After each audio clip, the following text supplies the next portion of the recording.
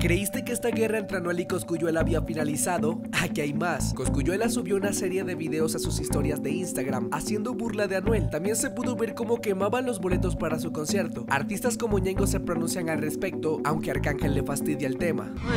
Pues yo no sé que me regalaron una taquilla ahí de Anuel.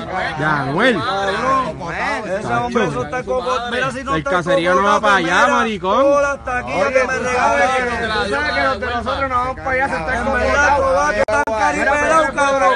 Que vienen a comparar, cabrón. Que si María, cabrón. Eso no se hace, cabrón, oíste. Porque tú eres de Puerto Rico. cabrón, pues, ¿qué tú hacer con esta de vaya fuego, cabrón, dale. ¿Quién Dale ahí. allá, cabrón? ¿Quién carajo? ¿Regalarte la muerte qué, cabrón? Si tú eres chota, cabrón, con papeles, cabrón. Ya, ya. Cabrón, aquí es que estamos, aquí estamos aquí, cabrón, no ronca allá, cabrón. Las taquillas las regalamos y las quemamos, huele bicho, porque... Bebecito. En Bayamón no te queremos, cabrón. Mi gente Orlando, gracias, Solau, los Illuminati, eh, los quiero con cojones, todos los boricuas que estaban allí, todos los boricuas que se dieron cita, los colombianos, todo el mundo, eh, Arroz Café. Yo no sé que quién gana de nadie, a mí no me estén preguntando nada, que yo no soy analista de género ni nada de eso. No sean bochincheros. Estén pendientes a lo que a lo que a lo que uno vaya a hacer o a apoyar al artista de ustedes o a algo. Venga. Mira este otro hijo de puta, que está muy drogado. Cabrón. ¿Ves que yo voy a coger un vuelo ahora? Yo acabo de salir de mi casa, cabrón. Bañado, perfumado, nuevo, de paquete. Pe- un infeliz, vete por otra página, cabrón. Y cágate en tu madre. No soy referir. Que está aquí es porque quiere vacilar conmigo. No estar preguntándome a ver como que si yo vaya a darle un análisis detallado de qué es lo que va a pasar ni nada de eso. No sean bochincheros.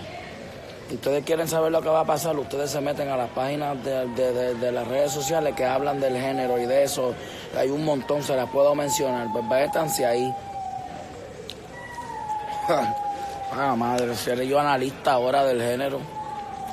Como al- analista deportivo o algo así, ¿no? Ahora yo doy las noticias en el género de reggaetón, ¿no?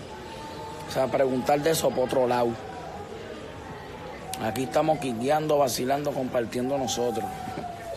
Sea la madre estos cabrones a veces, brother. Otro más que viene a preguntar de la guerra, del diablo. Yo no soy noticiero. Vaya para las páginas.